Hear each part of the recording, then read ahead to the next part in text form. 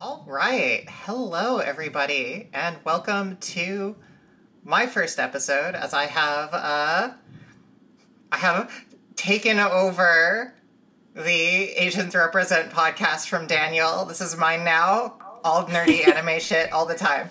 Uh, no, but actually, uh, my name is Liana McKenzie. I'm super happy to be here. Uh, I will now. I will be uh, leading uh, episodes, kind of in the in the more like anime, video games, JRPGs sort of vein.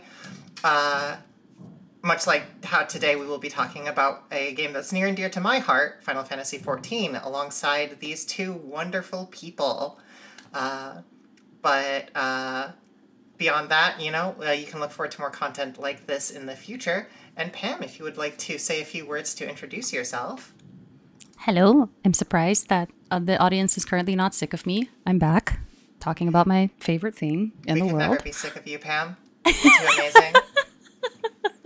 so I used to be one of the admin for Asians Represent, but the community continues to be near and dear to my heart. I'm Pam Punsalan, speaking from Burlington, Ontario this time, when a lot of my episodes were in the Philippines. So I'm in the proper time zone this time to relate with all of you. I do design work, editing, consulting. You can find me in Balmung Crystal. Look for the small angry dark knight.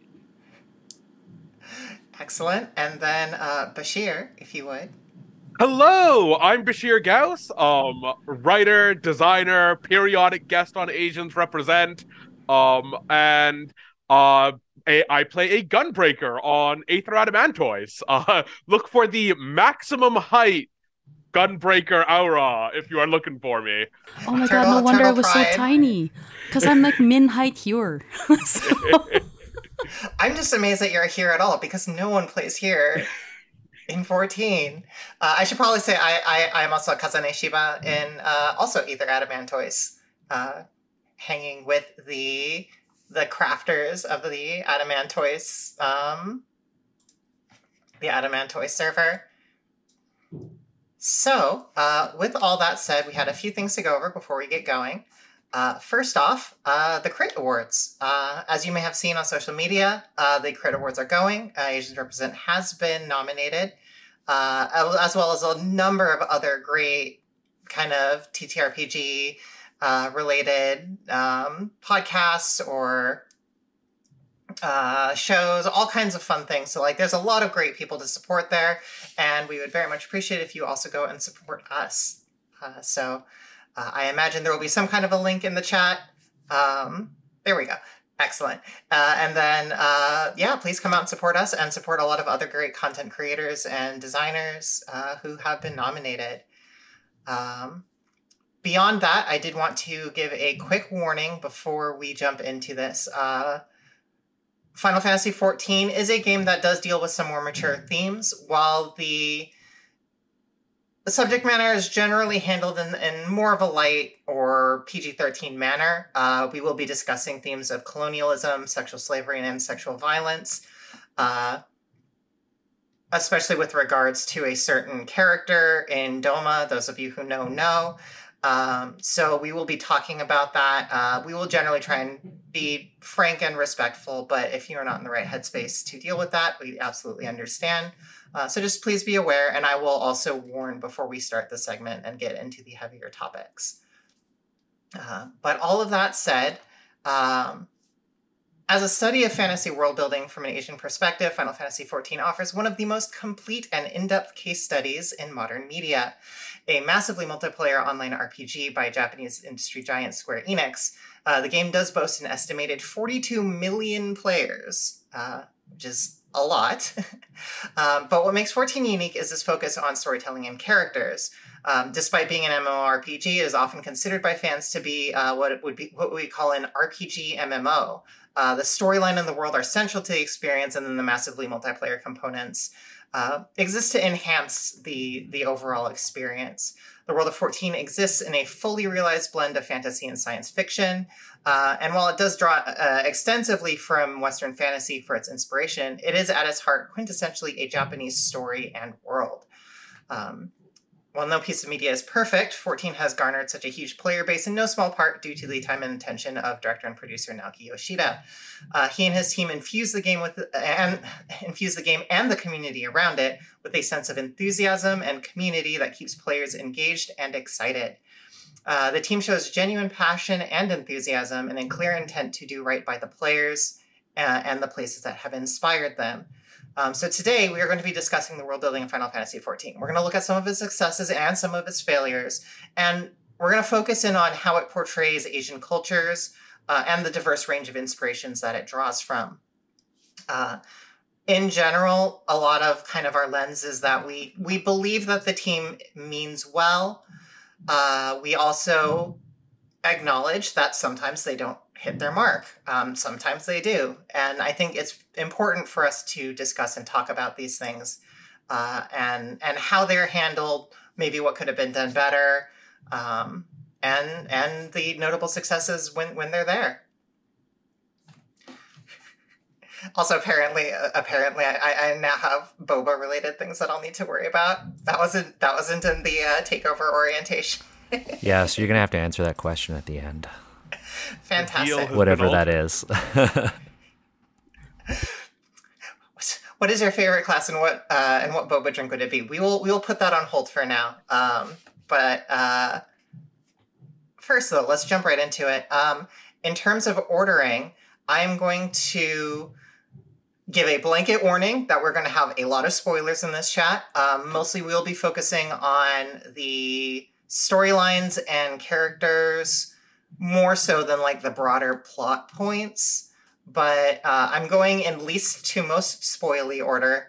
Uh, so we will begin with the Azim Steppe uh, of the Stormblood uh, main expansion. We will talk about Ala Mhigo, which will cover some of the Stormblood main expansion and post content.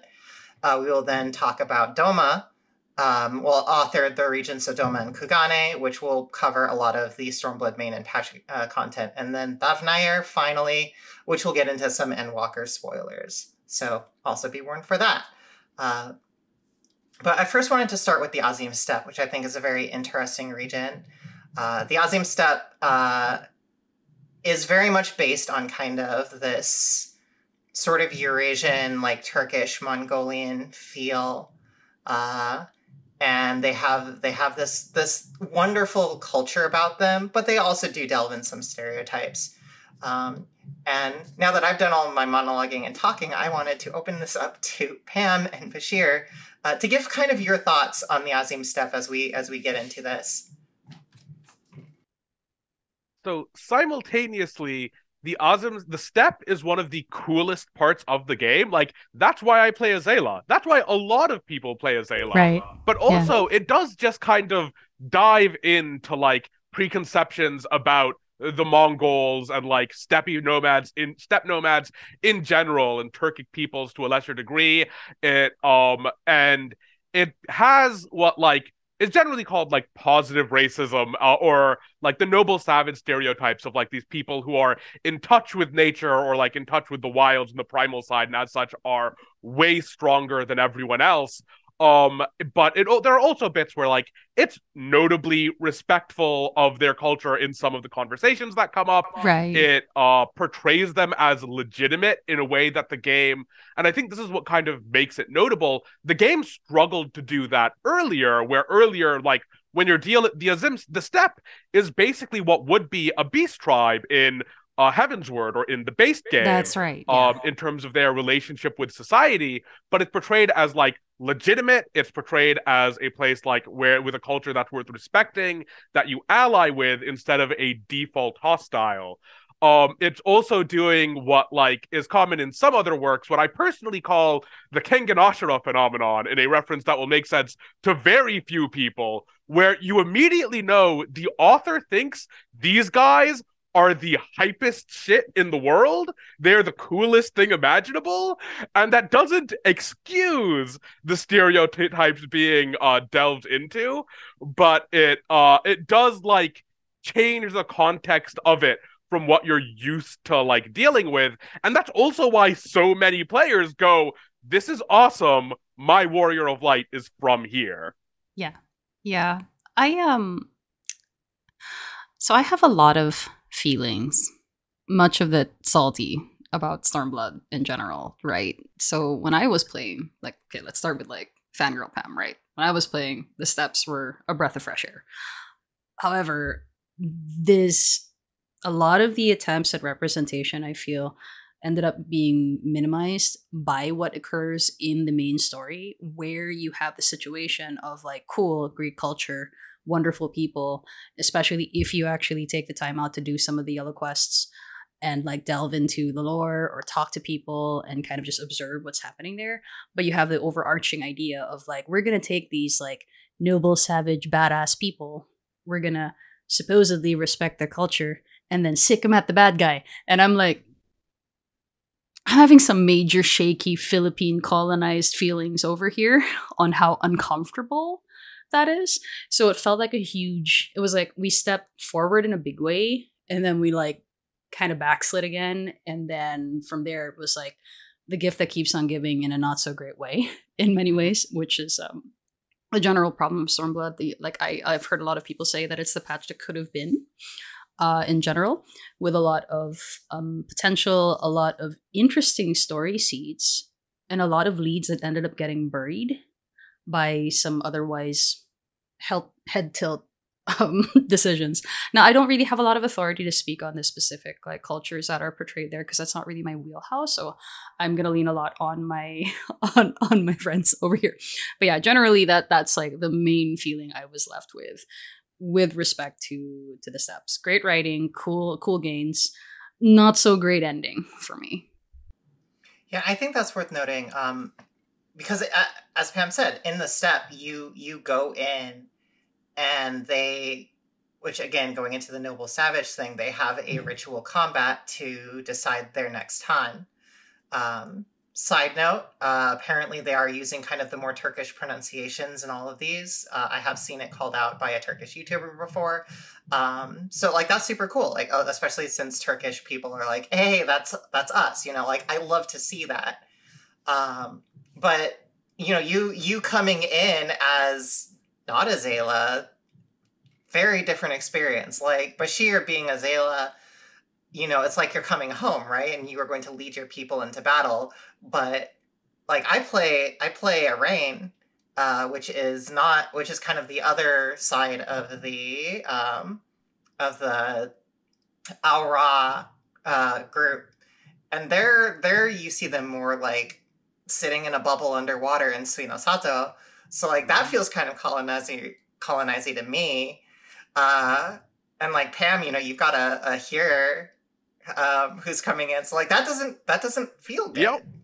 Yeah, one hundred percent. Where like it's it's not good unless you go like it's enormously problematic unless you go in with that very specific out like setup. And even then it's still like uh it's kind of one of the things we'll get into with Ala Mhigo for it, I guess, where like um it's kind of a parallel to that even if you are going in with like the most connected your character can uh-huh. be um where it's very much playing into you know you rally these people on the borderlands to come in and invade and do what you need them to do um I do have to agree that like you can tell that the Warriors think they're just like the absolute coolest. yeah. Even Magnai gets to like jump off a bird and and cleave yeah. a Magitech in two in midair. And like Magnai the is the and, lamest yeah. incel. the one and only time anyone has ever respected Magnai. um, nah. Not even. Yeah. No. close, close, a close. As close as you can get. But um, I did actually. Uh, I also want to talk about not Magnite, but uh, Sadu Khatun. Yeah, Sadu's great.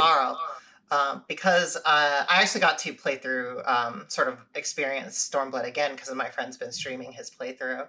Uh, I, I personally, I really liked Stormblood. I admit that it is messy and problematic, but I find it very interesting in that kind of space of just like there were there's a lot of ambition there's a lot of generally good intent uh, and there's there are interesting things to say and while they don't always succeed it you know like i it lands really well for me because it hits that nice sweet spot for me. Um, but uh, one of the things that I found very striking, especially watching the replay and getting reminded of it, is when you take Gosetsu. So Gosetsu is a samurai of Doma, and Doma is a kind of feudal Japanese inspired area. So like when you go into the province of Yanxia, you see people working the rice paddies. They have kind of that traditional peasant attire. Uh, and it is a at this point a colonized nation. So Gosetsu is a rebel, and when he goes into the Dotharl camp, he finds that they are believers in kind of this very very focused reincarnation cycle where the Dotharl believe that they are they are they will reincarnate into their tribe. So when they die, they will come back with the next cycle of birth, and you will see the person who has died and they will step into their old identity.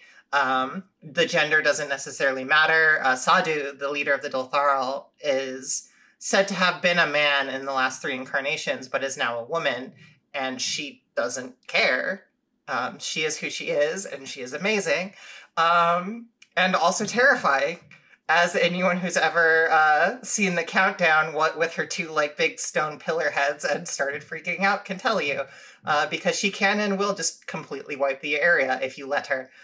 Um, but when you go there, Gosetsu, who has who has kind of that traditional, more Shinto inspired belief, uh, as befits a samurai of Doma, is very caustic to the belief because he's horrified that this person who died and he saw died, they just leave this body to the crow because they're like, well, the spirit's gone. It's just the flesh cage. Who cares?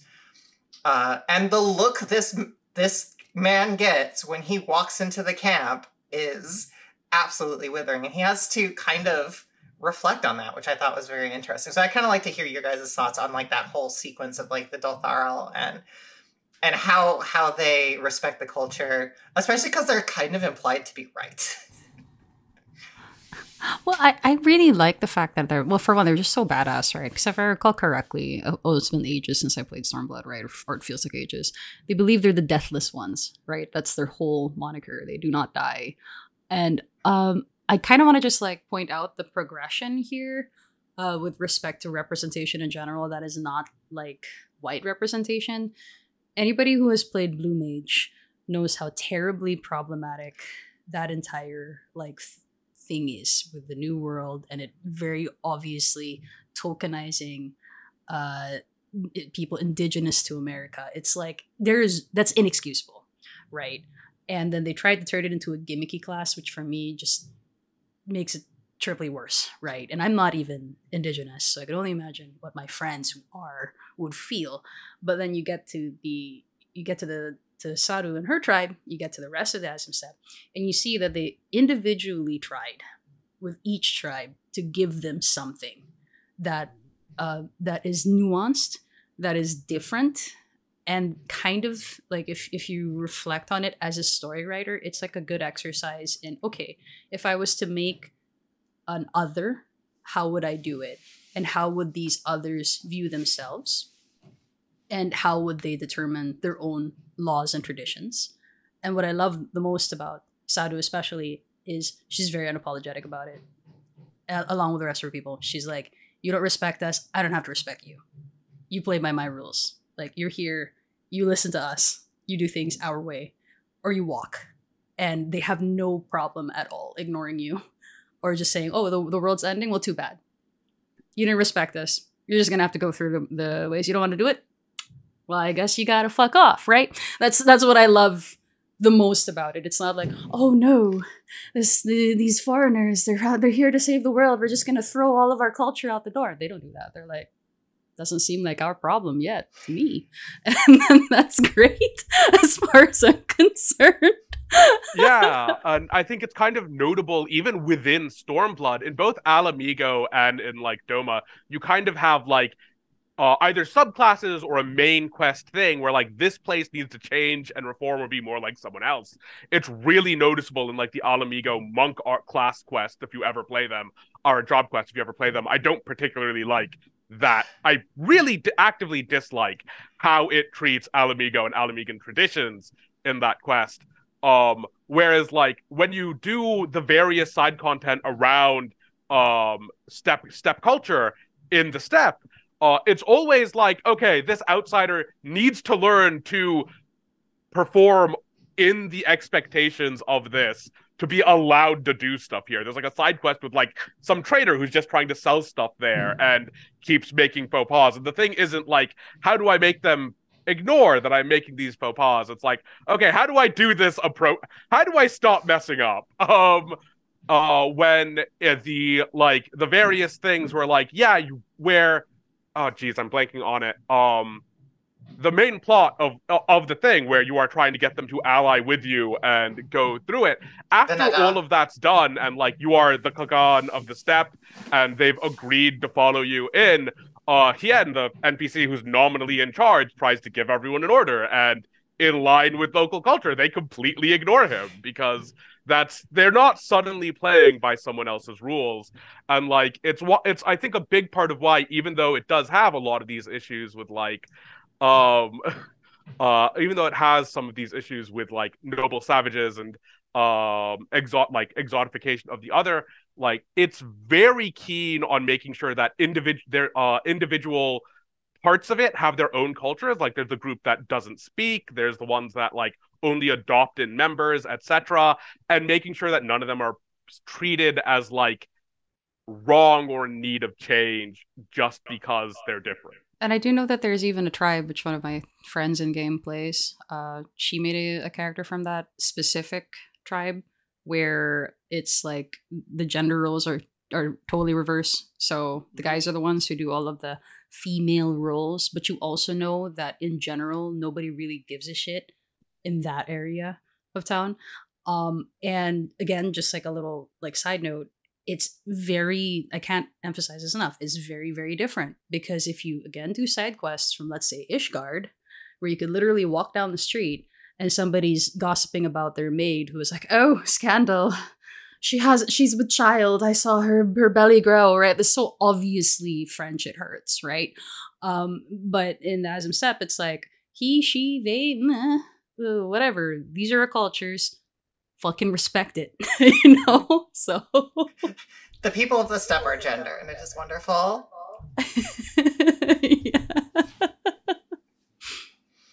But uh, all that to say, um, I think I think the Steppe really represents some of the best and worst of what cultural writing can be in Final Fantasy.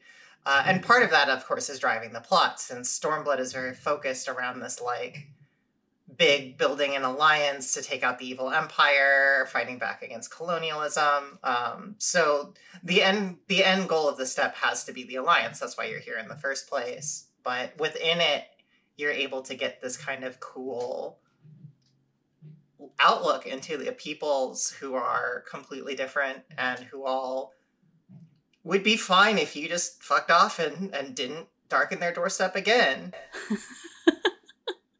and I love that for them. Yeah. yeah, I got intimately reminded of the whole Khagan thing when I did the warrior quests, where uh, they do actually you do run into them and they do call you Khagan, and there's even this really funny sequence. Sorry, spoilers for the warrior quest, by the way. Um, it's you're fine. basically it's not that great until this quest line anyway. Yeah, sure. But like you basically get propositioned where they're like, "Will you marry my daughter?" And that that happens regardless of your of your warrior light's gender. So you do have this whole thing of like, oh right because i'm the i am the greatest of them right? So it's, it's another funny cultural moment. My character is like very gay and very married.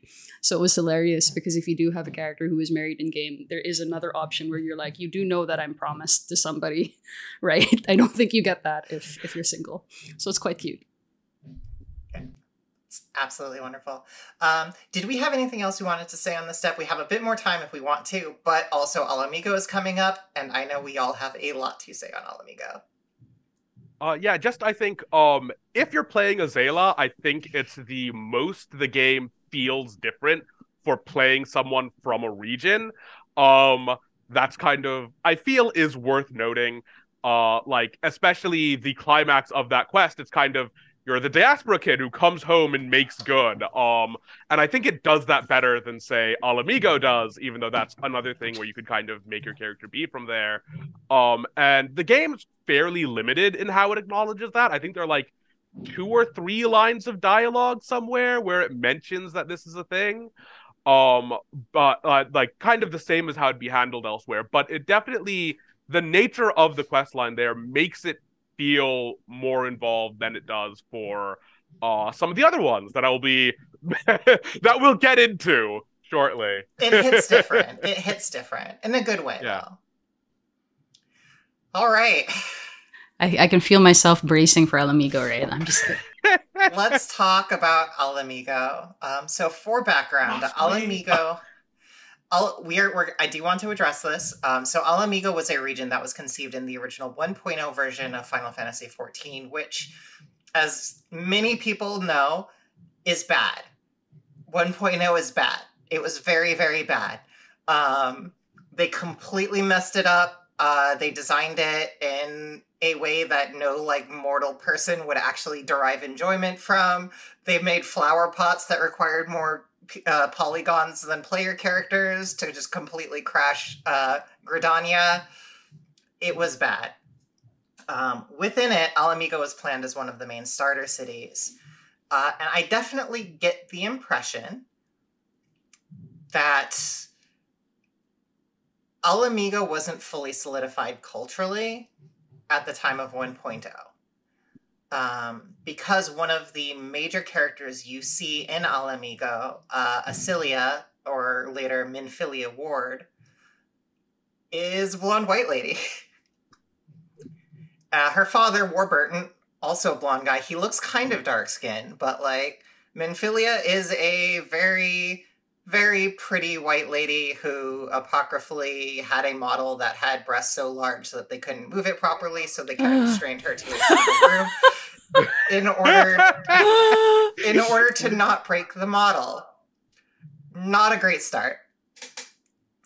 Um, and from and and from there, uh, as as a realm reborn starts to play a factor, your first as you get into A Realm Reborn, your first kind of interaction with Ala Mhigo is that there is a refugee crisis in Ul'dah, Ul'dah being the monetarist city of greed and hateful tiny Lalafell who uh, who run run the show basically. And you like there's a lot like ARR does not handle this well. I think we can all agree on that. There's a lot of like blame them because they're poor. Uh, it doesn't go over well, but by the time you get to Stormblood, there's definitely a intention to treat it with more nuance. But I definitely feel like, and I'm, i want your thoughts in a second. I have to say, I definitely feel like 1.0 held it back, much in the same way that if someone were to remake Kara-Tur, or L- or Rokugan and L5R, as we have seen, they can't really divorce themselves from their in- initial lore enough to make it okay.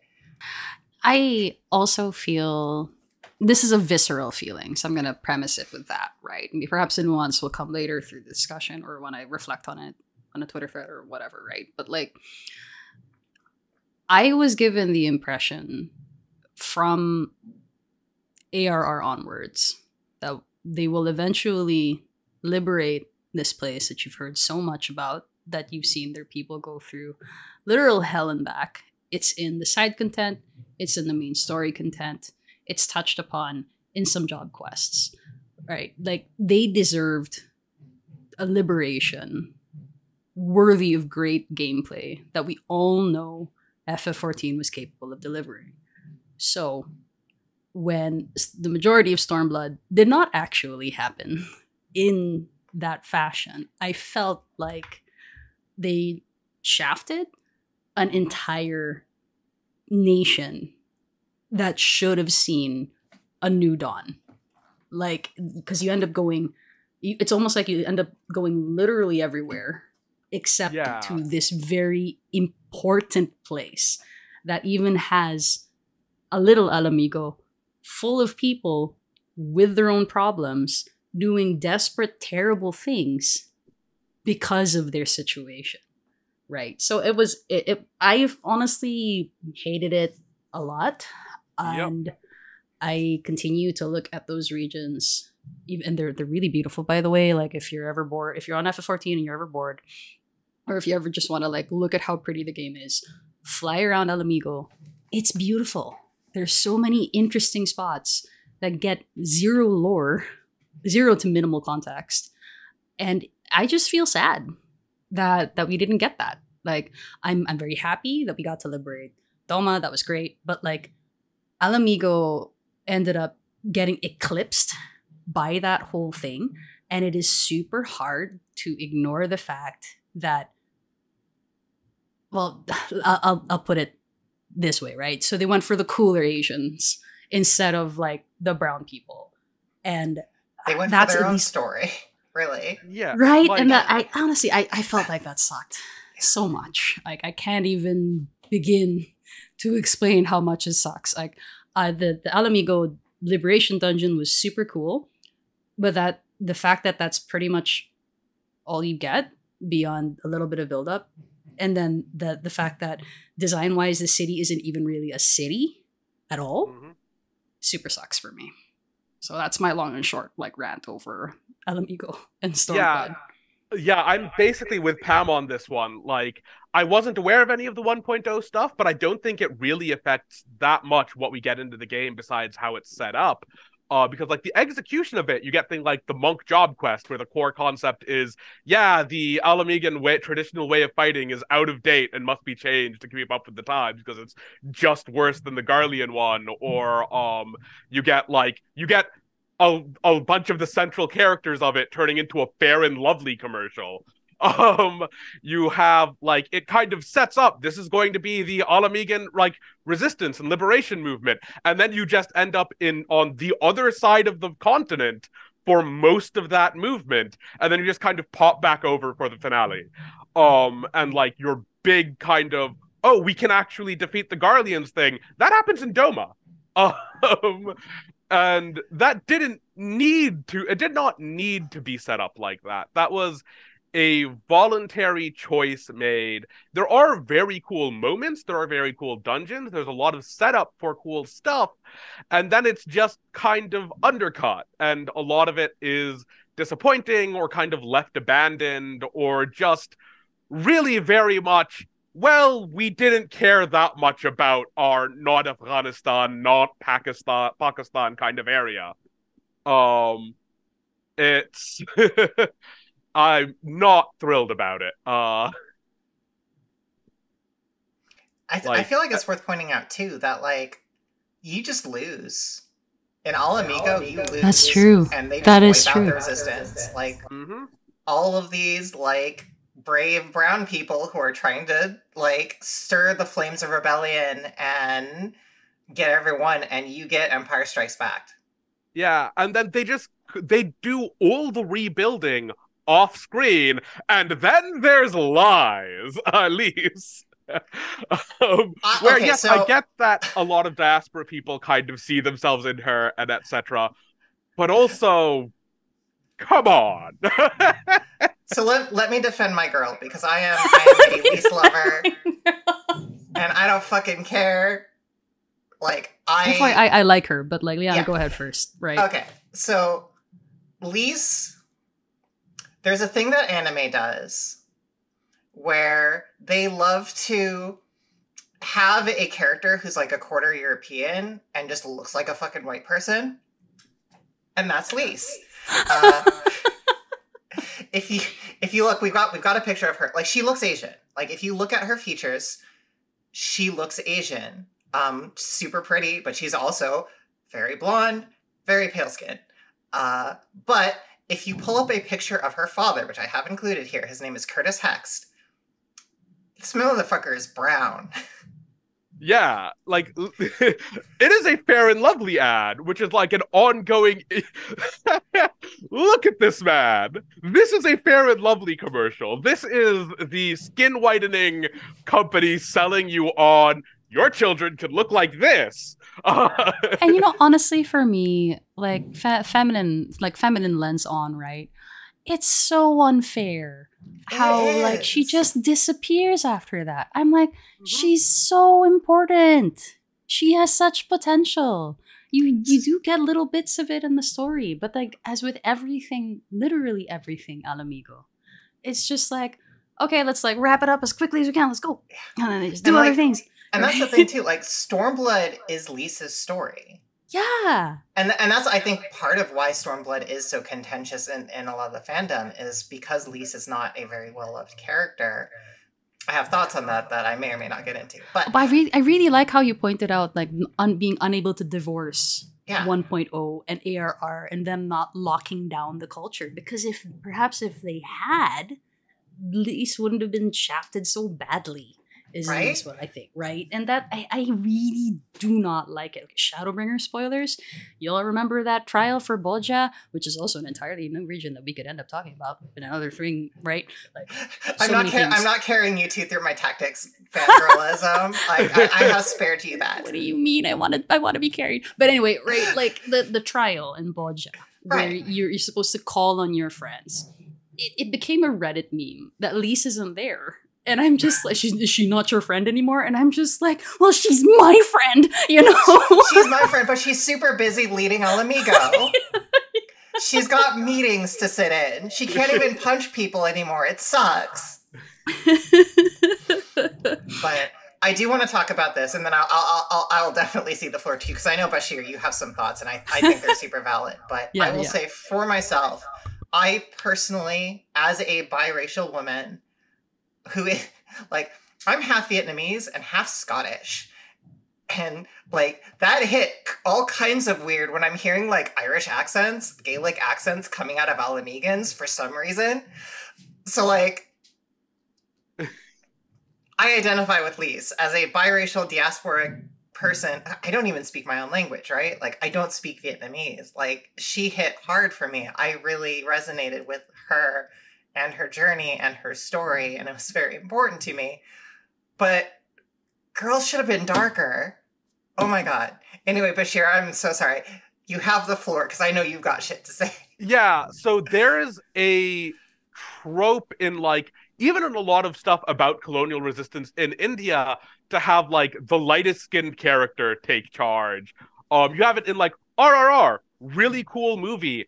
Um where but they take the dude who was like rural and from like a uh, lower caste and stuff, and they portray him as basically like an uneducated heck when he was noticeably really intelligent historically, and he was an inspiring person historically. He wasn't just superhumanly powerful and a, a ridiculous badass, but this is a common thing where you'll get like, um, it's not it's not quite Lawrence of Arabia, but honestly, going through it, it felt a bit like it, where like you will have these kind of um, and especially like Ala Mhigan has a lot of Indian and Afghan, Afghan um, inspirations, and there were large parts of it where you could kind of when Lyse's in arguments with people, or like where the character is in arguments with people from there about like, hey, we're trying to get the resistance back together, what we need to do next.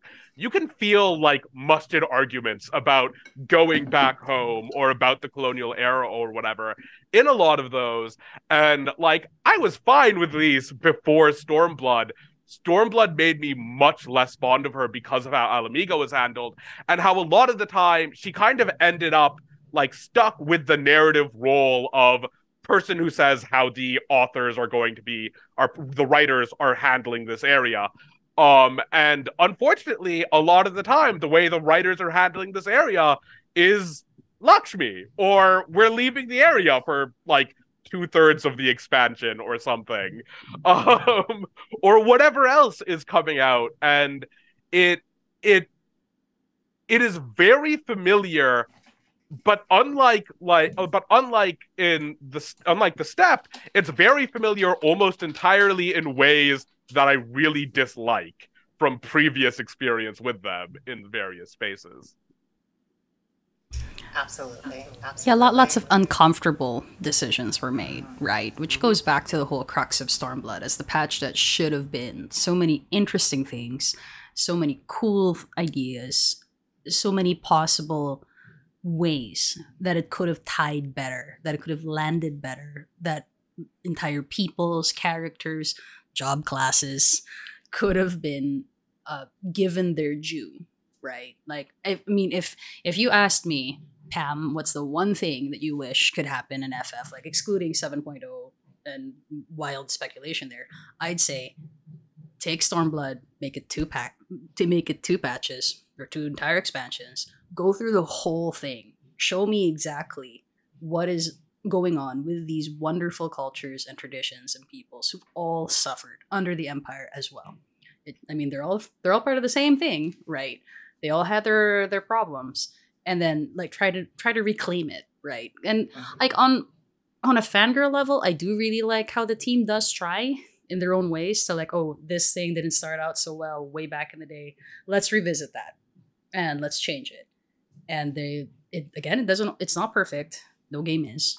Um, even as much as I love FF, like I think my friends have heard me like rant about it for hours, right? Like the many things where I'm just like, right? But like, this the point stands that that would that would have been the dream for me if you could just let Doma, let even Dalmasca, let Bozja, let Ala Mhigo, like let all of it grow because there's just so much there that is not the default white or default fantasy Eurocentric thing that you see in Final Fantasy.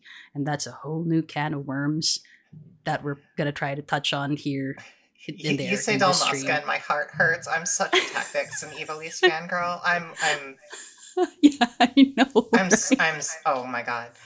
Um, but there was something else I wanted to bring up. Since we broached the subject, I think it is worth talking about some of the colorism issues that have been present in Final Fantasy. We've been kind of skirting the issue, but especially with the recent controversy with Final Fantasy 16, um, I think now is a good time to address this. Uh, I know, having read many interviews with the man, that Naoki Yoshida is very well intentioned. I actually I found I could not find it again, but I was looking for it. There was an interview where he talks about the reason the skin tones of characters will kind of change between expansions is because they do it based on how much time that person spends indoors during a given expansion, which is a very East Asian way to look at it because a lot of East Asian and Southeast Asian too, our skin tones are highly variable. Like if we spend a lot of time outside, we will get dark. Uh, so like as a detail, I think that's very interesting. Um, just kind of as a lens to look at that concept. But it's it is impossible to ignore that in general, dark skinned characters, with some notable exceptions, but for the most part, they're not the big heroes. Like, if we think about dark skinned characters who are very prominent, my mind immediately goes to Raubahn Aldynn, who is an Ala Mhigan. And his his story has been very involved. He's a great character. He's beloved by the fandom. If you don't love Raubahn, frankly, I I don't I don't I don't know what to say to you. How could you not? He's amazing. Um and he he has his whole arc and all that, but like who else? We can talk about Y'shtola used to be. right, right. But Then she but she spends all her times indoors, so now she's white. well, no, now she's light skinned because she don't leave the goddamn library. Um, and like, there's Raubahn, there's Ilberd, the motherfucker, the evil Ala Mhigan who like nearly destroys the world. so that's great. Um, Arenvald, as mentioned, came up and like, I'm not, I'm not into men, but like, I totally get why a lot of ladies are fawning over Arenvald. Like, I'm, I'm happy for you. That's I'm awesome. I am. And you know even even on the even on just the sheer level of design right the fact that many final fantasy 14 fans who are trying to create warriors of light that either represent a story that they feel like they can tell or themselves cannot find even the closest amalgamation of their skin Mhm. tone if they're not on the white scale that is a problem. Like, there's no way of mincing words here. That is a problem. And, I've seen I, I've seen some gorgeous like warrior of lights who look black. Yes. But I also have heard people talk about how hard that is to do. Yes. Yep. Exactly, right. And like the very fact that it, and, and we can even just go beyond colorism itself, right? Into and also facial structure, right? If you look at how Highlanders are rendered, the lack of diversity there is glaring.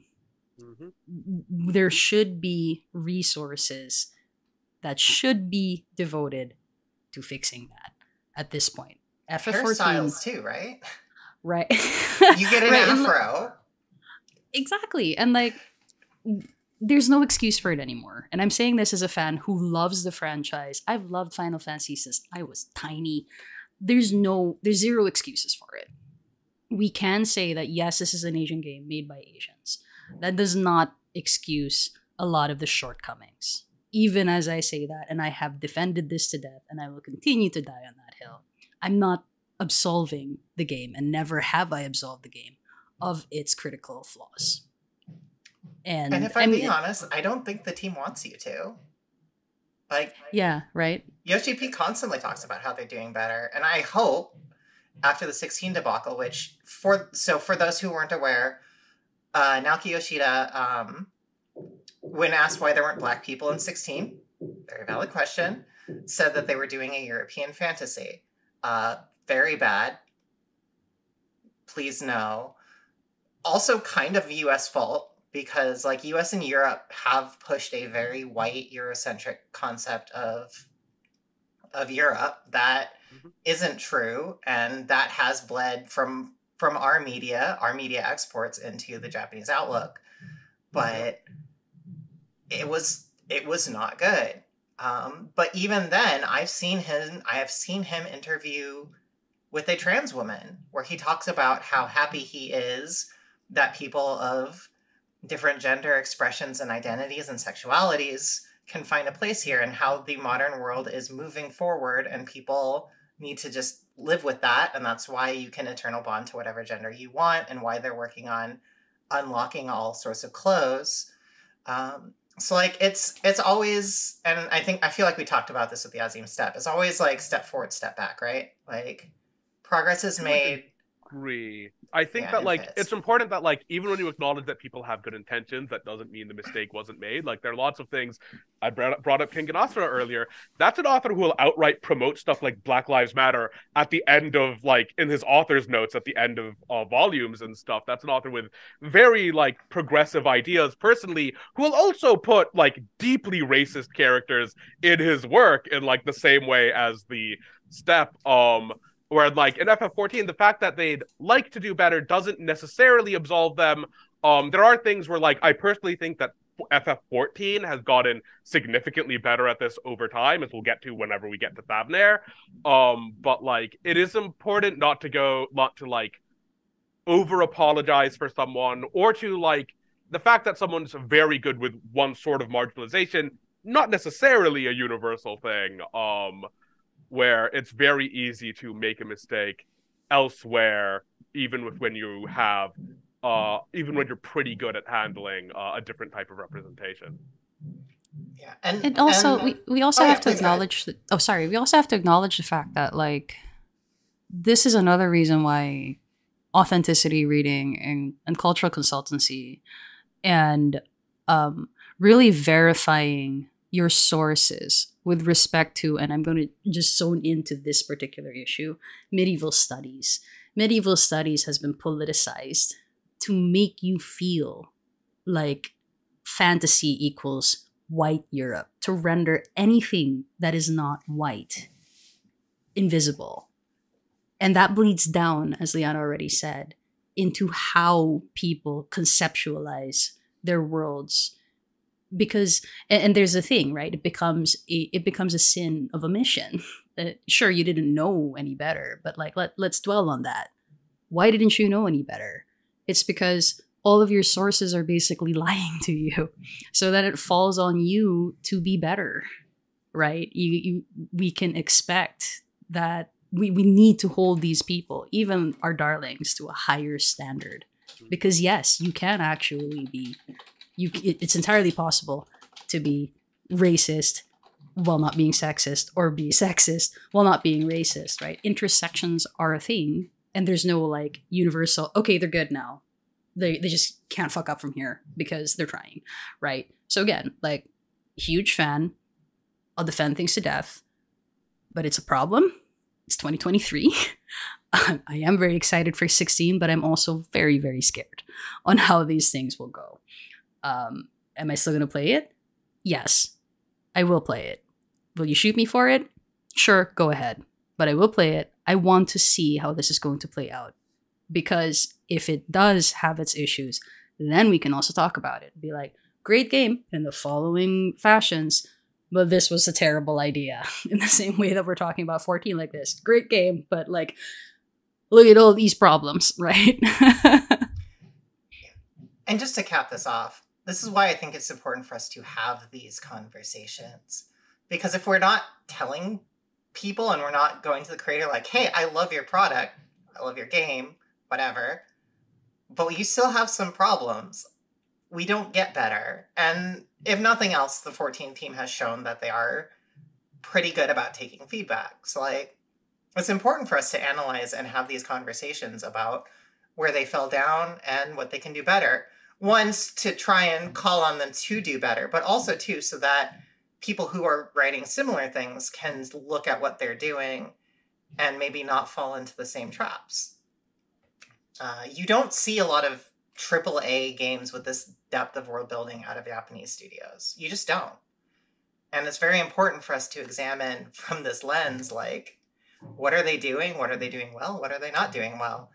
And speaking of that, let's talk about how they write their own culture. If we are uh, last call on Ala Mhigo before we move on to Othard, the widest localization name ever for a Japanese inspired continent. I- I'm I'm good because if you if you told me we're gonna go for Ala Mhigo, I'm just gonna end up bitching about the mod class and stuff. So we're good. I'm, I'm good. I swear. Yeah. Plenty of time to, to bitch and monk about Monk After Hours. Don't worry. Uh, so let's talk Othard, uh, which means Kugane and Doma. Um, I personally, I find the Othard segment to be very interesting. Um, the fact that they chose to make a Japanese style nation that was colonized is definitely interesting. When you see Kugane, which I see up on the screen, uh, it's this very like thriving Meiji style Japanese city, this huge metropolis with like trade and neutrality and all of that. Um, but then when you get to Doma, you have much more of that like feudal Japanese, not even necessarily Sengoku, but kind of that pre-modernization. Um, and I know having having seen other Japanese media, um, there is a lot of kind of cultural angst around like the the Commodore Perry coming in and how that upset the status quo. Um, so seeing kind of that dichotomy between Kugane and Doma is very interesting and how they chose to portray the old style of the Doman nation as this like colonized uh, entity who has lost all power and has become a puppet, which feels very it feels very striking to how I've seen this come up in other in other media. For example, in the most recent um, Like a Dragon Ishin, where they get really get into that using kind of the Shinsengumi. And you even have that with like the Sekiseigumi, who are the Shinsengumi but wearing red, right? Like you can you can see these through lines and it's very interesting. Um, and also they deal with some shit that Japan ha- like a a frequent sin that shows up in Japanese history and media of sexual slavery. So this is your warning. We're going to talk about Yotsuyu in a bit, but first, I wanna I wanna get our in, in, initial thoughts from Pam and Basheer on uh on Othard. Oh man, I don't know where to even start. It's like even Kugane felt like, oh, we're here, and then Yeah. there were some illusions of like we do things differently. We have a political situation under wraps, but not really. Okay, bye. And I was like, what? where, where, where did we? I literally went through a boat ride with the mandatory "the sea is haunted" and fought through that to get to your port. And you're giving me all these little hints, and I just is nothing after that. I have to go to the samurai quest to even touch upon that ice. So now at this point, for those of you who do not know um, me as an FF14 player, yes, I'm that dirty FF14 player that 19 out all the classes. So I really went through all the right respect, right? All I did the same. job, So. right? So and I was like. Where, where, where was? Give it. I feel like I feel like my entire Stormblood experience was me just going like, "Is the Lord gonna come here? Or is it I'm gonna go over there?" Like, mm, it, it- it felt very um. Welcome to. Kugane. Go hang out with the shitty pirates now. yeah, basically, it's Kugane felt incomplete to me. Like, oh, okay, we're touching on this, and now we're gone. Bye. Um, and then you're off to the Ruby Sea. The Ruby Sea was like, the Ruby Sea is a thing that conceptually interests me, and then every time we kind of go and look into a detail, I'm like. This is underwhelming. I'm not. I'm not really that interested in this. I Uh, hate that map. Yeah, it is a I'm really gonna- annoying map. It is a terribly designed map. No amount of beautiful lo-fi music could convince me to go on that map more than I have to. It's got the Susanoo fight, and that's it. I love that fight. That was a yeah, good fight. Sus- it's a really cool fight. That's kind of Uh, it. Try being a try being a gatherer in the Ruby Sea. where you have to go into the bloody trench, I have. Sea sucks. It's uh, kill me now, right? especially if you especially if you have phobia of deep underwater. yeah. I. Like I just if you could get attacked in that stupid trench, I would just I would. Have it would instantly transform into a horror game. And then, like, yeah, Doma itself, I'm curious as to how much, like, I don't know much about it. So I was wondering how much Chinese influence is in there. Uh, as Right, something that, yeah. like, I didn't look that much into because it felt to me that was kind of blending in a bunch of Chinese history in the colonial period for how Doma is set up. Daniel here. Um, I definitely see Chinese influence. Actually, when I was looking at these uh, sort of images that Liana had put together, when I opened up the Doma one, I was like, oh my god, this looks an awful lot like the uh, the rounded houses, the uh, Tulou in Fujian in, in China. It looks like those sort of yeah, let's let's rural pop the dwellings let's pop the. yeah, I just put it. I just put it. again. I just yeah. put it on the screen, and folks who um, aren't familiar with like rural Chinese architecture, uh, you may have definitely seen this in the. I'm not even going to say it's a good movie, the live-action Mulan movie, um, because it does feature those sorts of buildings, and that that's what drew my attention to this. Also, aesthetically, this image, and this is from Square Enix, so this isn't fan art or anything. This I get like Xinsha vibes from the surrounding mountains and everything here. It it honestly I strikes think- me as more Chinese. I think it's Yeah, worth so- talking about too. Like that province is called Yanxia. I'm Uh, gonna, I'm gonna mute and- myself now. and in this in this area, you fight the Monkey King, uh, Qitian Dasheng. I think is Yes. the, is the Yeah, name they that's right. use. Like you fight Wukong. Like that's a thing you do. Then the four lords, the whole Yep, the whole thing with four lords, right? Well, the four So it- lords are, Jap- are more Japanese. Okay, right? fair, yeah. Seiryu, Suzaku, Yeah, Yako, right, right, and, right. and Genbu. but the Monkey King though. Yes. Yeah, so like Doma honestly struck me as more like China with samurai, basically. Um, No. like we've got samurai and ninja for the expansion, and so Doma has them. But otherwise, it's mostly just China for the most part. Like it's very possible that there are big cultural touchstones I'm missing because I'm a Desi dude. That's not really my.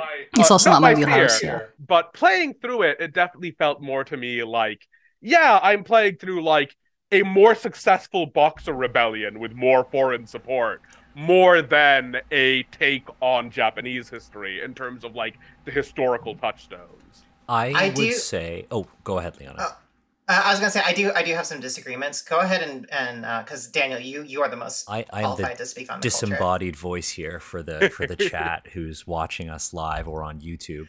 Uh, Daniel I, reaching out from the sea of stars to reclaim know, his right? ownership of Agents um, After the coup, um, I would say that a really good example of differentiating sort of uh, cultural signifiers within a video game world, Genshin Impact does it so well because if you look at Liyue and then you compare it to Inazuma, um, you see two very distinct cultures, not only in names uh, of like locations and NPCs, but also in how they're governed.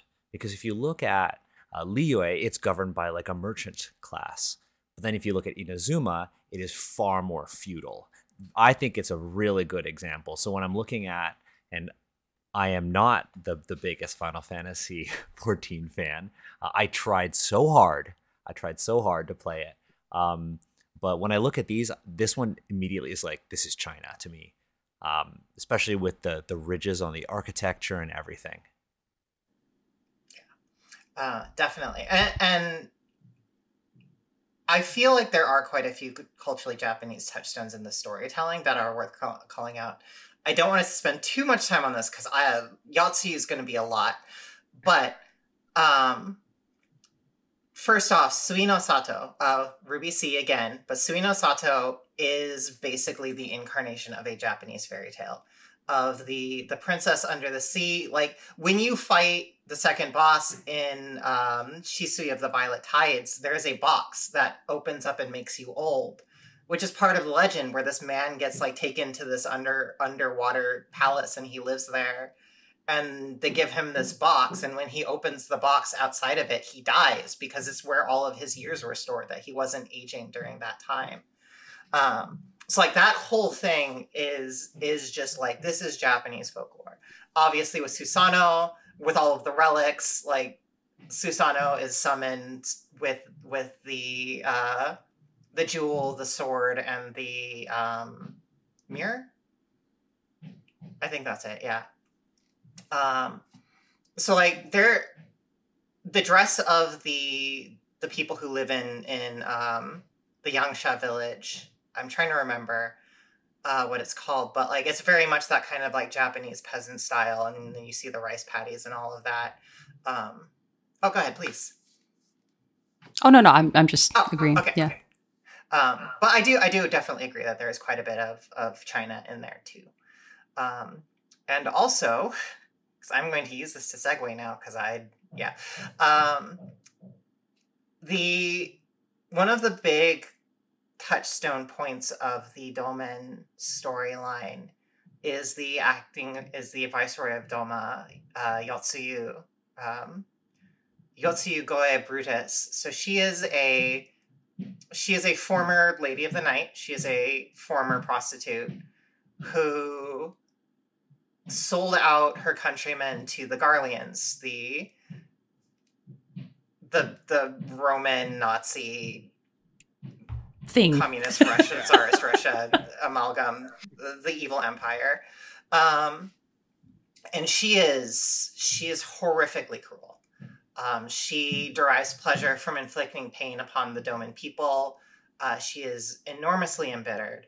Um, and as you unwind her story, uh, it's very clear that she was she was sold to a brothel. Like she was sold into an abusive marriage, and then after her husband passed, she was sold to a brothel. And this is something that you actually see come up a lot in Japanese history. Uh, Japan has a horrific tra- uh, tradition of sexual violence and sexual slavery against women of nations they attack, um, both in Korea and in China. Um, that the government still hasn't, to this day, really properly apologized for. Uh, so to have this story included in Doma, I always thought was very interesting. Um, but within that, just because of the context, like Yotsuyu serves to, I'm going to try not to drag us back into Ala Mhigo too much, but she serves as kind of a contrast to an Ala Mhigan uh, kind of col- colonial sympathizer in Fordola, who is on the Ala Mhigan side, who commits horrific, violent acts to gain status in the Empire, and that all crumbles under her. Uh, she is eventually given something of a road to redemption. It's very long. It's it stops and starts. Uh, I personally find this story to be very interesting, but I know a lot of people don't. Um, but I think it's very interesting. Yotsuyu, in contrast, is the woman who could not be redeemed, and in a vacuum, I don't necessarily have an issue with that. But with her having been a victim of such horrific trauma, then it starts to get a bit squirrely for me. Yeah, hundred percent. I'm. I'm. That's pretty much my take as well on on Yotsu, and uh, it is. Uh, she's a hard pill to swallow because she's irredeemable because of the many violent things that have been done upon her.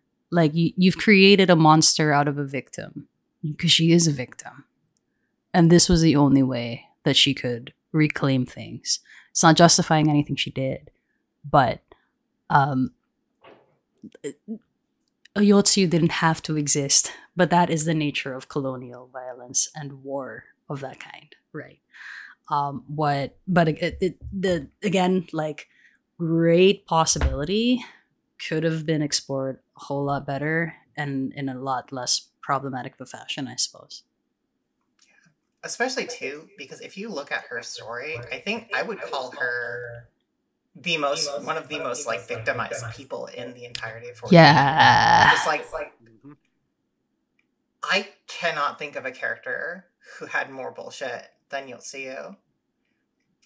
And like it it is heartbreaking um, because she has a little amnesia plot line where she gets a taste of of like someone respecting her and loving her for the first time. And like i still kind of like i'm tearing up about it right now because i'm a weenie. But like her mm-hmm. interactions with gosetsu who like she is a, she is in kind of this amnesiac haze examining the gunshots that she gave him. And he's treating her with kindness. And like that that still kills me to this day. But i can't ignore the broader context of like she's such a horrible horribly victimized person and in the end almost even by her own choosing she she decides she is too broken to live on and she basically throws herself on your sword um, not explicitly stated but it's a very it's a very common and i would say very well placed read of it um, but i do want Basheer to give some thoughts here too because like I don't This is- like. I don't think I really have much to add. It's kind of, yeah. I don't really have much to add. She's noticeable in that her entire character arc kind of revolves around the victimization into the cycle of violence, and then the possibility of that changing, which doesn't end up happening because everything that kicked off this cycle comes back in. Um, but like I don't really have anything to add there that's going to meaningfully uh change this conversation. Yeah, it's honestly like as a storyline, and Yotsuyu Yotsuyu basically caps off Stormblood for in general. Endwalker is different because Endwalker is different, but Heavensward and Stormblood and Shadowbringers, all three of them, um, they have three patches to conclude the loose ends of the main storyline. Um, so in this case, it would be 4.1, 4.2, and 4.3. And then the two final patches are the setup for the next expansion. You also use the capstone to Stormblood. Uh, in this storyline, she becomes a primal and you kill her. But during the primal fight, with one of like the best gameplay storyline integrations I've ever seen, like you have to like fight off the shades of all of the people who've hurt her and then you see like Gosetsu come in and like Gosetsu just fucking beats Zenos, like the the strongest character in the game because in her mind he is stronger and like yes, inject this into my veins. I'm a sucker for this. Whatever. like crying my eyes out while trying to DPS. I know. Gosh, I was such a. I was like a sprout of all sprouts when I played that. I think I died. Well, our group died maybe ten times. To that fight. Especially because it's like one of the hardest trials in the game. But Uh, yeah, well, I'm a Savage Raider now, so I look upon those moments most fondly. But that was a time. I see people are are clamoring for for most punchable man Asahi. So I guess we can talk about Asahi a bit too, because I do think this is actually very interesting. Um, the just in her in the portrayal of her family, it's there's good character moments in here of like she's adopted into their family. They are Garlean. They end up Garlean sympathizers. They basically they all sell out their country um, but she's never one of them. And Asahi is the golden boy, but he's still jealous of her because she got viceroy over him. And and basically because of it, he destroys any chance that she could ever have to live a decent life because he specifically incites her regaining her memories and then sics like sics their parents on her when she was going to take her own life, which is another, you know, like Holy, yeah, everything. yeah, that's a thing. Um, but it's just the storyline is so emotionally resonant, but when you pull back some layers, you feel kind of icky. And I, I, I hate that in some respects because, like, I think it's kind of like the embodiment of Stormblood as an expansion Yeah. cycle. and that it's like True. it's so true. could It have is. been something. Really could have. It wasn't, but it could have. like, uh, this is what you got. We're in it now, and I'm just like, again, me with the give me something, you know, give it to me, please, please, right? yeah. But- there was a good point though in chat about about Hien too. That's another uh, difficult.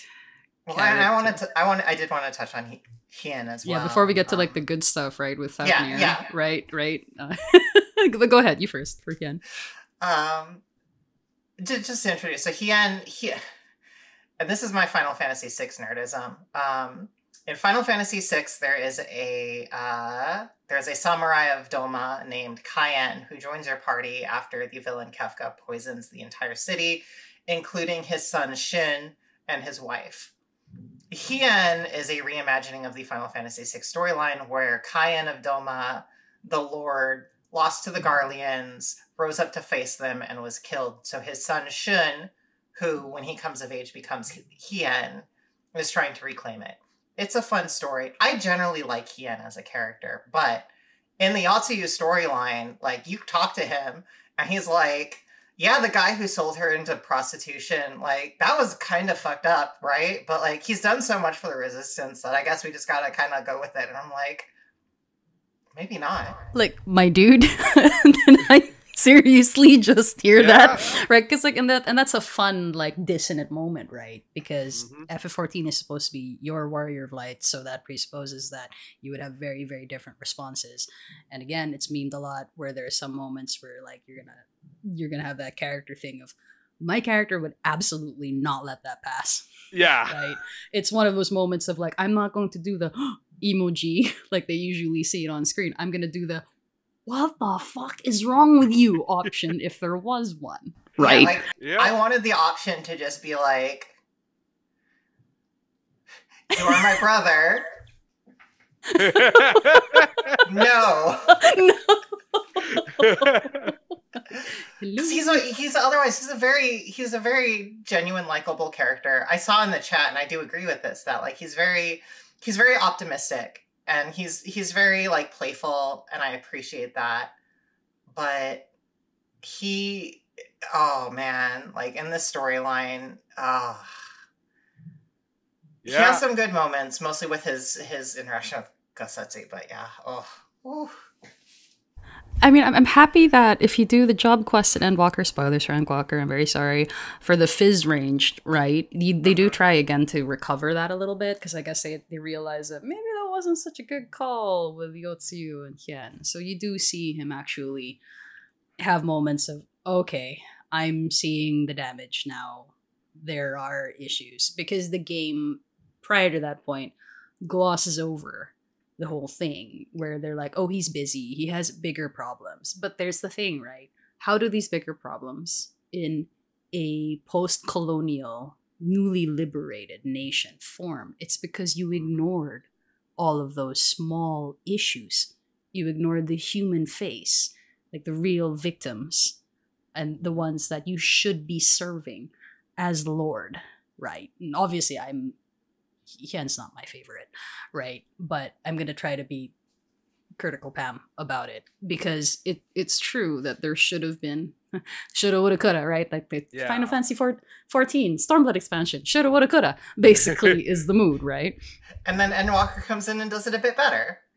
Yeah, I think there's like, yeah, I'm very lukewarm on Hien. There are a bunch of places where it kind of stumbles, where like you have this, you have kind of his plan is very much I'm going to be Lawrence of Arabia, and then they're going to come in and save my country for me afterwards. Um, you have a few things where like if you were more critical about it, you could do a thing on a statement of this is how things start to go wrong in a post-revolutionary government, or this is how you get a um what was it like you, this is how you get like all of the institutional issues that stick around from colonialism perpetuating these uh things into the future but it doesn't really like that's not really what it's trying to do it was just kind of they botched what they were trying to go for with writing this particular plot line or whatever thematic uh thing they were trying to hit with Hien and so it lands weirdly and twists its ankle um and yeah it's i'm that's basically just I don't have huge feelings on Hien. I, he feels he honestly feels like kind of a footnote in an arc nominally about him. I I honestly even Doma I still consider that to be Lyse's story. Because Hien Hien serves as a vehicle to help Lisa understand who she needs to be for her people. And you see that a lot. You see them talk and you you you see like even with the facial acting of, of the Stormbloodier, which was still pretty good, even if it's not as good as Endwalker, you see her taking all of this in and seeing what he's doing and processing it um like stormblood is Lyse's story and and i will die on this hill it's true.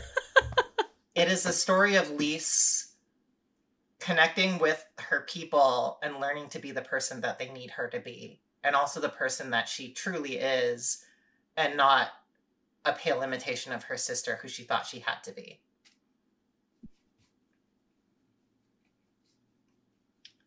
man let's pour talk one about out belly dancers and thavnair shall we? yeah yeah pour pour one out for Stormblood right let's get to Endwalker because uh, we as much as we would all love to be with you the whole day right uh, we also don't want to hold you like hostage but I will I'll tell you now if you saw me in a con, do not get me started on FF14 unless you never want me to leave you alone. Right. But anyway, Thavnair. Um, so I'm I'm starting with this because Iza is not here to join us, but I want to make sure that I am respecting her significant and very worthy criticisms by calling this out. So this is kind of some of the early looks we got at Thavnair before we even um before we even saw the nation of these like exotic belly dancer style costumes that are uh as we've talked about and Daniel thank you for dropping the note um, in episode 42 of the podcast um, this like sexualization of swana women. And um, just like these costumes and these stereotypes which have perpetuated themselves from uh from british american literature and then made their way over to uh, japanese representation so early outlooks on Thavnair, where they have a lot of kind of these these sexier outfits and all of that, it's not a great start. Mhm. Thavnair's existed in the setting for a long time. Yep. Um, it's been referenced. You see a lot of it, but we don't get to go to it until Endwalker, like ten years after A Realm Reborn launches or thereabouts. And when you do get there, you can start. You finally, finally start to see the progress that this this writing team has made. Uh, I know I at least feel like, especially as we were talking about with some of the role quests, that they've really learned from some of the problems with uh, with Stormblood. Um, the inestimably talented Natsuko Ishikawa is, is heading the writing staff. Um, and I, I do think she brings a certain empathy to the writing that didn't always quite land in earlier expansions. Coffee sale just getting ki- killed off for no reason. Cough. Mm, gonna- Um, I'm gonna. Mm, that's a whole nother episode. Anyway. We'll talk about the shitty Catholic French elves later. because we are here to talk about Thavnair, where even in a single city and a single zone, they've managed to really like sell this culture in ways that continue to just be really awesome and resonant uh, and and I love it. Like, there's this big fantasy outlook. Like, the city is gorgeous. Like, look at all of those colors. Look at the fact that it's on this like giant rock tree thing. Like, it's so cool. Uh, the picture we took uh, at, um, of all three of our characters, we took staring down the city of Thavnair because it's a great, it's a great shot. Um, so let's talk about Thavnair. And Basheer, I want to start with you because you haven't you you had to you kind of drew back with Yotsuyu and let and let the the femme presenting people Oh. uh, Uh, yeah, say. I love Thavnair so much. It's, I think, them succeeding at something they've kind of been trying to do since ARR at portraying a location like this, at portraying a culture like this, at portraying religion and the like in a way that gets around the game's issues with it previously, that manages to negotiate the primal question and questions of faith pretty well. Um, it has like it has voice actors from the area. It has names from the area. Like there's a character called Noradine in there and Nasreen, which are like just straight up names you would expect to find in an Indian family, in a uh, in an Indian family. Those two specifically an Indian Muslim family, but it also has um like it managed to get all the representation you would kind of or most of the reputation you'd kind of hope for in an Indian setting into a very compressed space, handles it respectfully, handles it in an interesting way. And um it's generally, I think, the best they've done with something like this to uh in my eyes, like it's a huge improvement over Ul'dah or Ala Mhigo um for handling this specific kind of uh range of representation. I'm also like shout out as well to Southeast Asia, right? Because there's a lot of transcultural exchange that occurred between India and Southeast Asia. So Mhm. when Thavnair came out, especially for my Southeast Asian friends and myself, we were like, I just walked home. That's what happened. You sent me the Endwalker, and I'm home. Like I'm, I recognize the way that those carriages would look.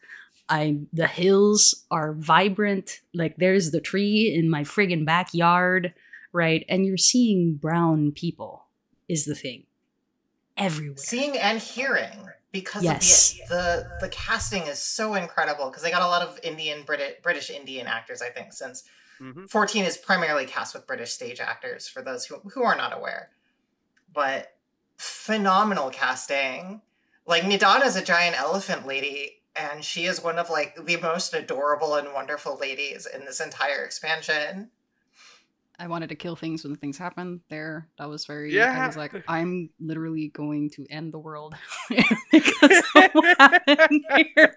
Right? Like it. I. I can't. I cannot stress this enough. Looking at Thavnair, flying through it, and experiencing it, hearing it, even looking at the smaller details, the fish that you can fish out, the things you can gather as a gatherer, the the clothes, the the food. Right? It's it, it, it's that whole moment of okay i think that this team really is learning they're taking notes they're acknowledging a wider audience they're realizing that fantasy does not have to be default white and the very fact that like as an as a nation Thavnair has its own lore where a friggin' dragon is the one ruling that place is like wow and they're just cool with it Yeah. It's like, oh, great Satrap. We love you. We've always loved you, even when you're walking around as a little kid in this doll. and it it remember that whole emotional moment where they are the the world is is ending around them. And they have their prayers they have their rituals and they come together. And here you are as player going like holy shit. That is a deeply ingrained sense of spirituality and community that is solidly different from what we've been seeing in other expansions.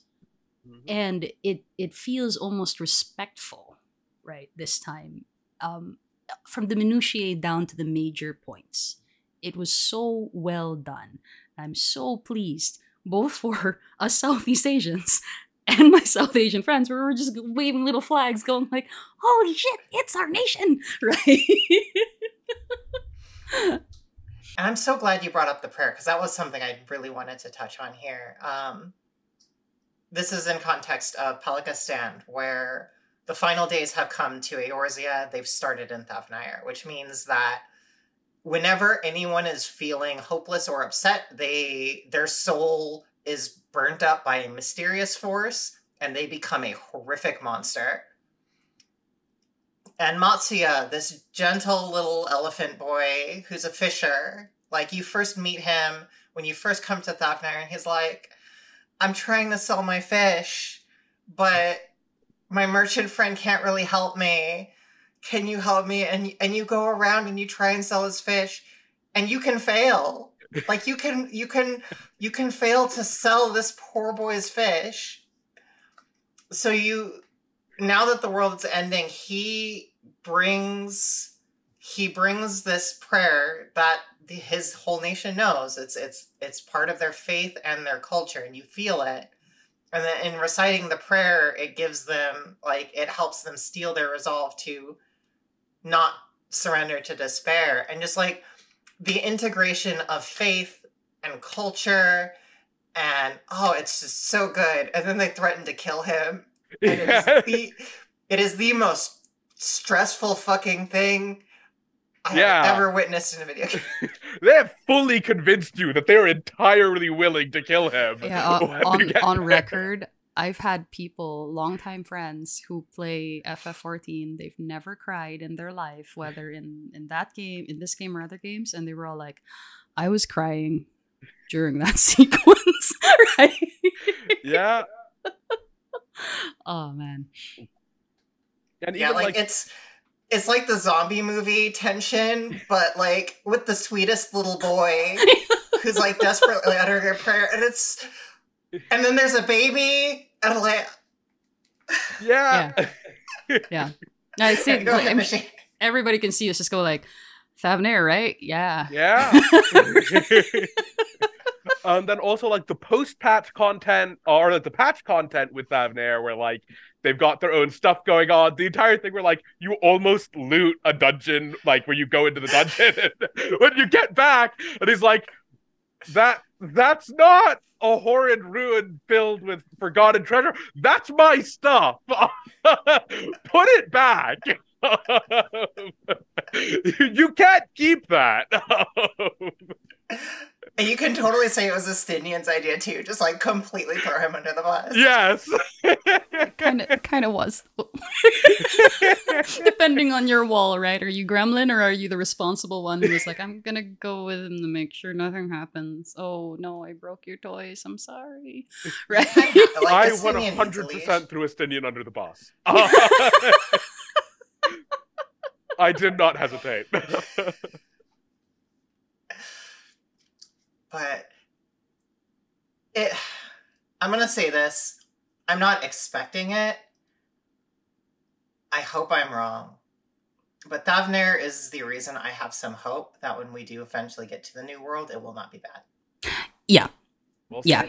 yeah. I think I I think we've had conversations in private uh, already about this, and I've also talked to a couple of, a couple of other players. It's my biggest fear with 7.0, um, especially since there was a recent issue with one of the Mog Station items. Yeah, uh, yeah uh, that was a that was actually a uh, indigenous group Yes. from europe uh, yes, eastern europe i think I believe so. Um, I haven't. So I, apologies, I wasn't able to review it, but that that kind of made me go, okay. There's there's a bit of a we're learning, we're getting there, But if you can pull off Thavnair, then hopefully we can start undoing the damage of all of that and maybe not do it in the future to end up tokenizing things. Because the, in cultural consultancy there should be an understanding right? That there is the uh, for one there is the untranslatable.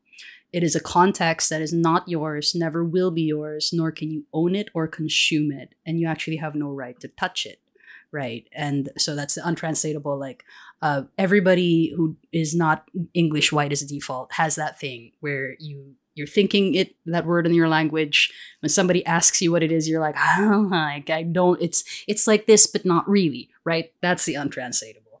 And then there's like the really sacred stuff where you're, you're just not supposed to go there and you're supposed to understand that you don't get to portray it you don't get to speak of it you don't get to make money off of it, right?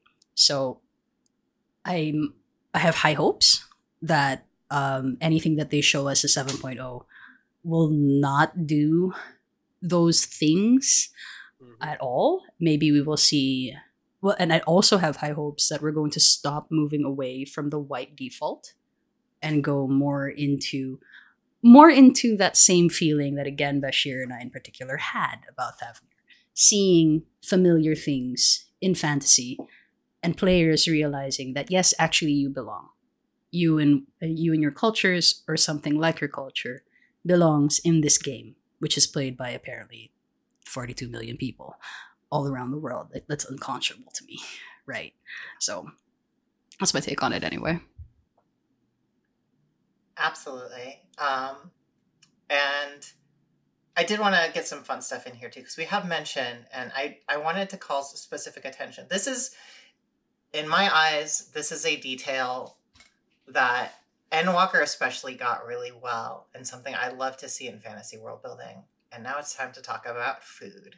Specifically, the curry art of the most recent patch. Right. Uh, where they just rendered a whole ass naan bread and curry and like I'm sitting here in in my new home uh, up north of Seattle, where there are no good Indian restaurants at all. And I'm playing through this, and I'm like, "Why you gotta do me dirty like this? I can't get this right now. What the hell?" But Endwalker especially has been such has been such a pressure breath there, in that they've spent time on food and the sharing of food and kind of the bonds that come together with it. Especially because Endwalker does really emphasize some of these more human scenes. Like you have that time in Sharlayan early in the expansion where you and your closest friends and companions gather and you get burgers from like the only good restaurant in the entire godforsaken fish bread city. what a mood, right? right? and like the way they portray and like you see you see like Alisaie like picking pickles out. And then in this case you see like Zero Zero is trading on the black market for like the hottest spices around. and just like takes out the entire restaurant by sharing this with everybody. Uh, but I love this. I love the emphasis on like food culture because it makes these people feel real. It makes you feel like less like I'm playing a video game and more like I am I am experiencing a story with humans There were so many good food moments in Endwalker, though. Honestly, oh, yeah, right? so many, so ones. many. Um, like when right before shit hits the fan in Garlemald again, right? You have that whole scene of them sharing. I think it was a the soup, the yeah. soup, right? That was one thing, and I think everybody that when you see Jullus break down, and mm-hmm. you're like, oh man right and then later in the in the patches when he starts sharing was it booch? Is that it, it, it was the the azim set the the um, yeah. I want to say bunbao because uh, that, that's what it is to me right? Um uh the bao the yeah. the meat bun and he yeah. shares that with zero And I also found Uh, that really funny on the on a fandom level, honestly, because again, again, brown girl, right? So it's a lot of and, and there's a lot of Chinese Filipino cultural exchange down in my country. Um, I saw so many articles of people going, "My people are freaking out over this food," and I'm just like, eh, "Siopao," right?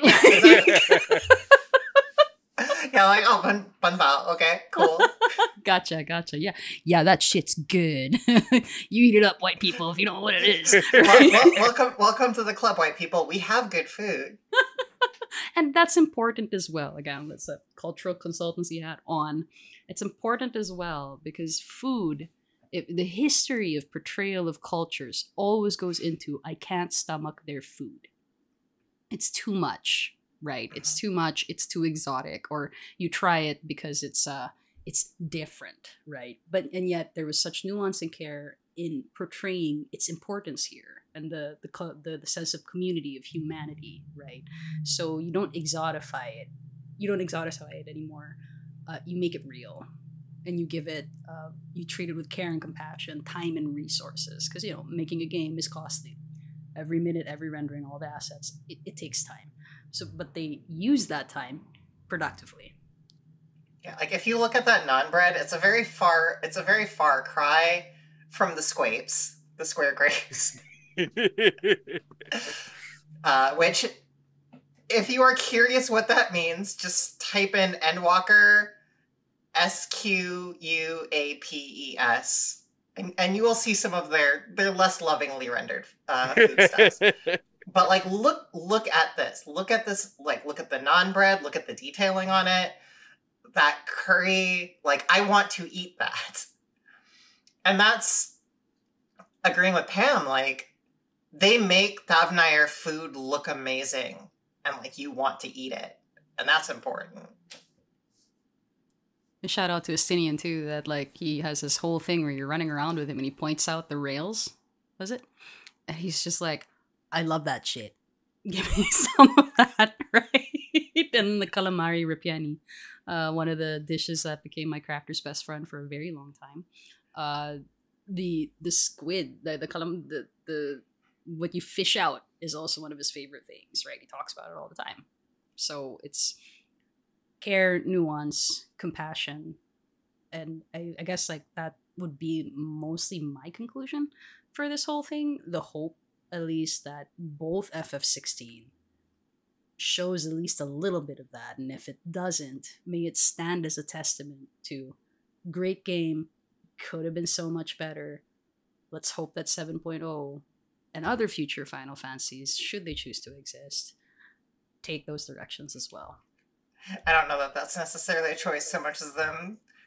It's like, do you want to make Naoki Yoshida do it, or do you want it to not exist? Those are kind of your two options, right? um, Basheer, did you have any? Oh God, No, I think Daniel, I- grab the squapes. Thank you. yes. I just wanted to call attention to the squapes, but uh, I'm fairly happy with covering it in as much depth as we, as we have. I'm glad I got to talk about Thavnair. Um, it might be worth like glancing at like Ul'dah is pretty much supposed to be Arab. It's not 100%, but it's like they have a sultana. They're pretty clearly like the standard desert um location set. A white Um, blonde sultana. We do have to point out. I love Nanamo, but she too should be Yeah. darker. um, and it's got some like it has a lot of the same issues that Ala Mhigo does, I think, uh, with how it is portrayed. Uh, there isn't really anything super new in there, save that like everything resolving Ul'dah is kind of half on pause, where like after like after Nanamo gets put back in, we kind of just don't touch Ul'dah for main plot stuff, really. Or like after um Stormblood finishes, we just don't Well, they Ul'dah they kind of resolve Ul'dah in Stormblood with the Return of the Bull quest line, where Nanamo figures out how to deal with Teledji Adeledji, Yeah. monetarist. So it's it's base it's very heavily implied that like Nanamo's got this shit on lock, so Yeah, can return home. it's very like it's got a bunch of similar issues to Ala Mhigo. Some of the, some of it it's managed to handle, and then it's kind of just slid off screen to a degree in the same way that a bunch of that. Uh, like Gridania is also mostly slid off screen. Limsa, I think, gets more main quest stuff than either of them. Gridania deserves its own episode. Yeah. oh, For the record, that's my least the favorite city tree is state. probably uh, the Thank you, racist tree is Basheer. You put Done. it. Let's make an episode. Let's do that. Sequel. Oh god, their own Oh man, Gridania. Oh, it's just like you know not what you ask for. I Yep. know, but like, um, and just uh, for for people who are playing FF14, there is actually a resolution in a yellow quest. Uh, that's another thing that you can the slit off screen whole thing. There is a yellow quest that I found by accident, where it talks about how um, who's the small evil Lalafell that's no longer so evil. Uh, Oh, uh, mama Lolorito? with. Alegi There you go. Yeah. Um, he. Or well, Teledji Adeledji, excuse me, is, is the Teledi Adeleji is now Teleji Adeleji, if that makes sense.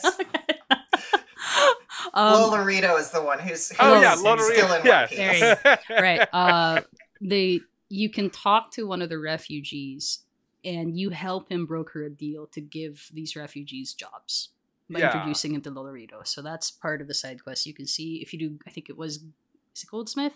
My partner's gonna kill me. I should know this as a crafter. Uh, but there is an entire quest line where you do have. Yeah, I think it's Goldsmith. Where I think you it's Goldsmith, yeah. you have that school where you hold you showcase Ala Mhigan goods. Yeah, that's, that's- in Rhalgr's Reach. Yeah, Yeah, Goldsmith. there you go. Right. So little little resolutions again, attempts later to tie in some of the glaring like okay, one and done that you have with a lot of the city states. And honestly like as a from a just a a world building and resources perspective like it kind of uh, again this is not an excuse but it does make sense. The world of 14 has become so expansive and it continues to expand with every expansion. Like in shadowbringers we got an entire world which we will hopefully be able to get back to because my gay daughter deserves the world and if you do not give her back to me I will burn something. I'm gonna kill a bitch is where I'm at. Right. I'm gonna kill several. Okay. Um, there, there's a lot in here, and I think it means a lot that the team is willing to revisit and try and better even the work that they've done before. And I think, writ large, the thesis of this entire episode, at least to me, is that don't excuse the mistakes of the past, but keep trying to fix it. And you may never get there, but that effort is meaningful. And if you make positive steps towards it, it will make your work better. Yeah, that's that's a great way of closing it, honestly. yeah. Awesome. Well, I'm I'm I am thrilled that I managed to keep us in time because I've been watching that clock like a hawk. Yeah, both of us, right? We're just like, you still got time? Okay, let's go, let's go. Uh, Right. Oh, I mean, it's a great. It's been a great episode for me. Finally oh getting yeah, to like no, I out. this is I, I could not ask for a better inaugural episode. Thank you all for for for standing with me as I coup Daniel out of out of the uh the seat of, of Asians represent. Yeah. Except for all the times that he uh he he managed Provide to our come full back as a political Sabaody support to the Liana administration and hope the uh, coup resolves. It's gonna, it's gonna be Team executions. Liana and Team Daniel shirts. We're gonna have like gonna do like a whole thing. Ooh, big bad. Might have to be like the weebiest fucking shirts ever. Oh yeah, like- we could. What if we made like a poster and we're like standing back to back, and it's like Naruto and Sasuke. Oh, I know what to do. I think so. I think so. Well, let, I, I believe we've got we've got. So uh, once again, uh, my name is Liana McKenzie. Uh, I'm one of the co-hosts for Asians Represent. Super super happy to be here. Uh, my shows will be focusing on video games, anime, often Asian media, and what it says about us, what we can learn from it. Uh, or if I just think it's particularly cool and I've decided that you're going to listen to me talk about it for two hours, you know, that might happen too. Um, yeah, super happy to be here.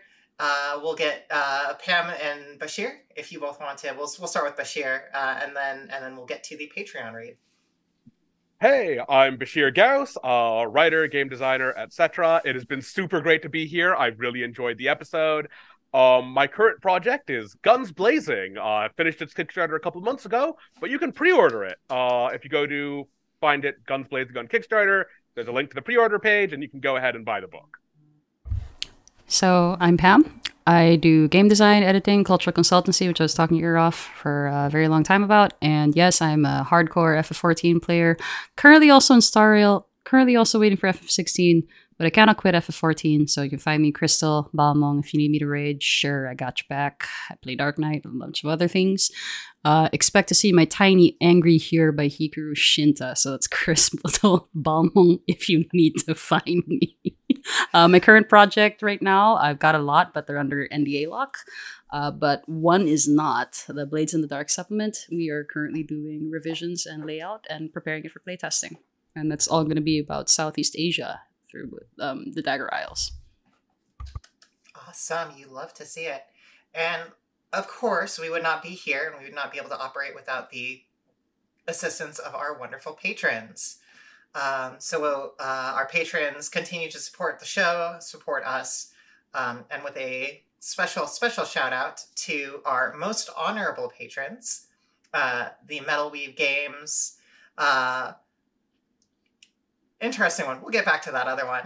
Uh, You can Michelle say it. Say it. Say it. You can say it. I'm, I'm saving it for last. Oh, okay. I, I get to I get to toot my own horn last.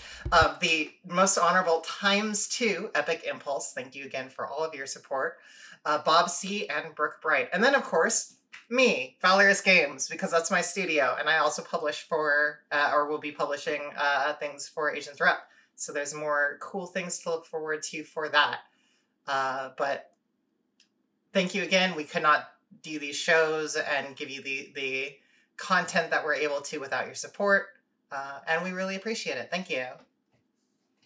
But with that, uh, that was us talking slash screaming slash ranting about Final Fantasy XIV.